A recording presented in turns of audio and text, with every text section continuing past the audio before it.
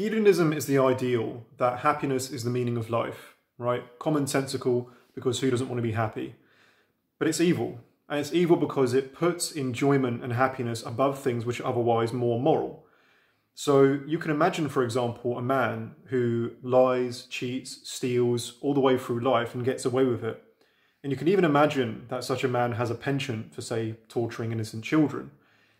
Now, if you're a hedonist and you hold to that ideal, then despite the fact that you might not have the same preference as this man, then you can't really criticize what he's doing. He's actually just following the logic as much as you would.